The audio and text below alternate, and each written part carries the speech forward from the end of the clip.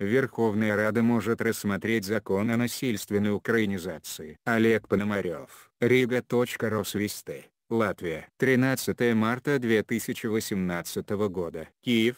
Народный фронт Арсений Яценюка намерен протолкнуть на ближайшей сессии очередной скандальный законопроект о насильственной украинизации об ответственности за его нарушение. Согласно проекту закона, в стране закрепляется обязательность использования украинского языка во всех сферах общественной жизни, а за пренебрежение к языку – уголовной ответственности до трех лет лишения свободы. Более того, за соблюдением норм закона будут следить специальные языковые инспекторы с широкими полномочиями. Народный депутат Государственным языком на Украине является украинский язык законопроект об обеспечении функционирования украинского языка как государственного в первом чтении в повестку дня уже на этой пленарной неделе потребовал внести глава фракции Народный фронт Максим Бурбак. В частности, Документ делает украинский язык обязательным во всех сферах жизни и вводит жесткие санкции за нарушение языковой политики. Народный фронт настаивает, чтобы во время этих двух пленарных недель мы рассмотрели и приняли в первом чтении законопроект об обеспечении функционирования украинского языка как государственного,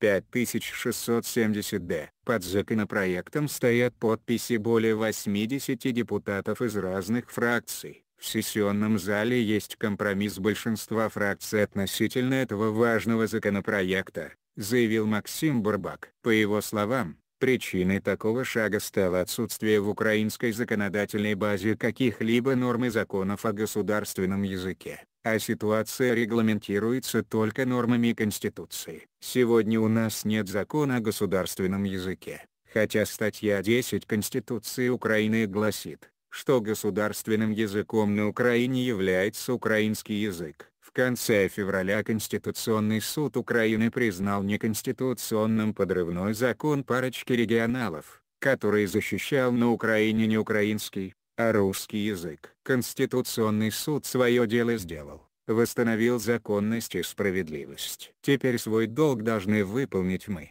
добавил глава фракции. По его словам, инициатива Народного фронта нашла широкую поддержку в обществе в частности некой академической среды украинских интеллектуалов. Откладывать его рассмотрение в долгий ящик не имеем права. Наша фракция настаивает на его скорейшем принятии. Защита и утверждение украинского языка – это вопрос национальной безопасности и противодействия гибридной агрессии русского мира добавил Максим Бурбак. Пациентам в реанимации будут оказывать помощь только на украинском языке но вернемся к проекту закона. По словам его авторов, документ закрепляет обязательность использования украинского языка во всех сферах общественной жизни, выпускные и вступительные экзамены, внешнее независимое оценивание, Тесты и сертификация документов будут проводиться только на государственном языке. Исключением из правил станут образовательные учреждения национальных меньшинств,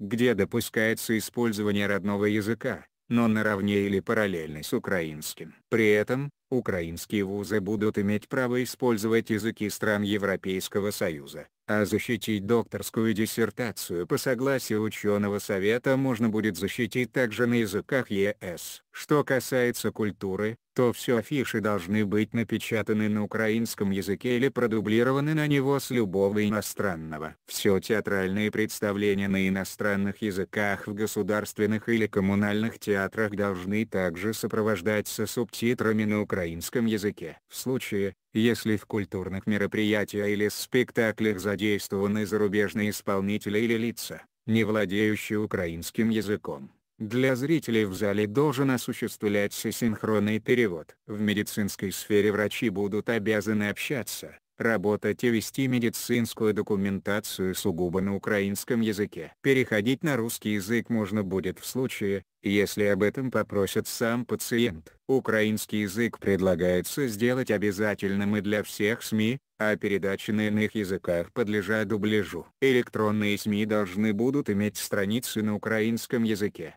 которая будет загружаться по умолчанию как стартовая. И как здесь не вспомнить опыт Латвии. Именно по кальке этой балтийской страны на Украине будет создан Центр украинского языка, а специально созданная Национальная комиссия по стандартам государственного языка будет следить за соблюдением закона и стандартов и проверить госчиновников на знание украинского языка. Среди прочего, этот центр будет выдавать сертификаты о знании украинского языка для трудоустройства. В свою очередь, в структуре Кабинета министров Украины появится должность уполномоченного по защите государственного языка и целый штат языковых инспекторов, которые должны иметь высшее образование или научную степень по филологии или в отрасли права. Инспекторы получат право проводить языковое инспектирование в случае жалоб или по собственной инициативе любых предприятий и организаций всех форм собственности, проводить проверку документации и составлять протоколы за нарушение языкового законодательства. За несоблюдение закона предполагается накладывать штраф в размере 50 необлагаемых налогом минимумов, сегодня это 850 гривен или 420 российских рублей либо арест до 6 месяцев или лишение свободы до 3 лет. Украина. Хроника уничтожения русского языка Ранее попытки насильственной украинизации были приняты в штыки парламентами Венгрии, Румынии, Молдавии и России. Так, в Государственной Думе России заявили, что Т. Н-реформа образования на Украине направлена своим острием прежде всего на уничтожение остатков обучения на русском языке. Не случайно в новом законе об образовании нет даже упоминания о русском и других языках народов Украины. Верховная Рада вновь провоцирует ситуацию которая привела к гражданской войне на востоке Украины и как далеко от искомых европейских ценностей заходит в стране, добивающийся членства в ЕС, полагают в ГД России. 5 сентября 2017 года Верховная Рада Украины одобрила реформу образования в стране. В языковом вопросе депутаты сошлись на том, что представители нацменьшинств смогут получать образование на родном языке наряду с государственным в дошкольных учреждениях и начальной школе, представители коренных народов в дошкольных учреждениях и средней школе. На дальнейших стадиях обучения предусмотрена возможность изучения языка коренного народа или нацменьшинства как отдельного предмета. Чтобы избежать обвинений, Украина передала его на экспертизу ЕС, где заявили о многочисленных нарушениях, а также притеснении русского языка на Украине. Напомним, что в начале этого года Конституционный суд Украины посчитал неконституционной процедуру принятия закона в 2012 году так называемые законы Кивалова-Колесниченко об основах государственной языковой политики. Радикально настроенные националисты назвали этот документ экспансией русского языка на Украине, хотя, по сути, он лишь предполагал защиту русскоязычного населения страны и его права общаться на родном языке. Отмена закона за 2012 года вернула Украину к законодательству времен СССР, согласно которому государственным языком является украинский язык, но при этом может использоваться и любой другой язык. Автор отмененного закона, бывший депутат от партии регионов Вадим Колесниченко подтвердил, что при принятии его документа в 2012 году в текст специально были заложены положения, которые, в случае отмены этого закона в будущем, ввели бы в силу нормы закона 1989 года.